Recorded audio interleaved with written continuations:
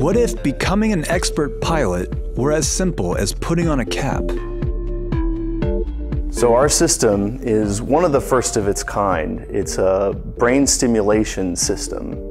Uh, it sounds kind of sci-fi, but there's large scientific basis for uh, the development of our system. The specific task we were looking at is piloting an aircraft, which requires a synergy of both cognitive and motor performance. When you learn something, your brain physically changes. Connections are made and strengthened in the process called neuroplasticity. And it turns out that certain functions of the brain, like speech and memory, are located within very specific regions of the brain, about the size of your pinky. What our system does is actually target those changes to specific regions in the brain as you learn. The method itself is actually quite old. In fact, the ancient Egyptians 4,000 years ago used electric fish to stimulate and reduce pain in certain areas of their head. Even Ben Franklin applied currents to his head, but the rigorous uh, scientific investigation of these methods uh, really started in about the early 2000s. And we're building off that research to target and personalize the stimulation in the most effective way possible. Your brain is going to be very different than my brain when we perform a task. And what we found is that in specific circumstances, the brain stimulation seems to be particularly effective at actually improving learning. One of the aspects of learning we're most interested in is how the expert brain functions. Part of what we wanted to do when we invited expert pilots to perform our experiment with us was that we wanted to better understand what their brains look like as they're performing this very particular training that we've set up. We were hoping to modulate the brains of novice pilots who had never seen this task before in order to try to make their brain states uh, more similar to the experts. What that means is essentially we were able to take a group of individuals and train them to a similar level than we could without the brain stimulation. The method employed at brain stimulation relies on actual physical contact with the scalp, a head cap through conductive gel to apply the currents to the, the skin or the scalp of the head. Uh, it combines three modes of imaging and stimulation.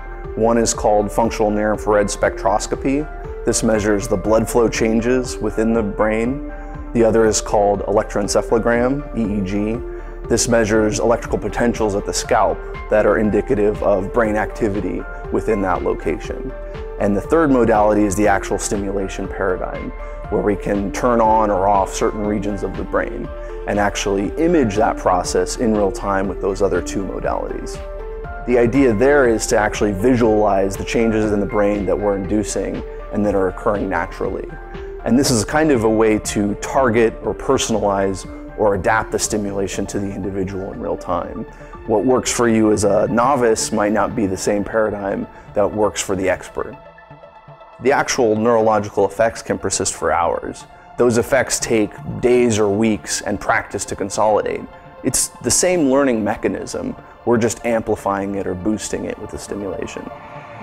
The study showed that novice pilots demonstrated a 33% increase in skill consistency compared to those who received the sham stimulation. Neurostimulation technology is, I consider it to still be in its infancy. Current technology uses a simpler, non-custom interface to connect with the brain. The system designed by HRL allows for customization of the stimulation, which is key. The field in general is very new as uh, we understand more about the brain and the technology that we're working with we'll be able to better help people, whether that be in training, in learning new skills, or improving their performance, or whether they've uh, had a traumatic brain injury or a stroke, um, some disease or pathology that prevents them from uh, having full function over their faculties.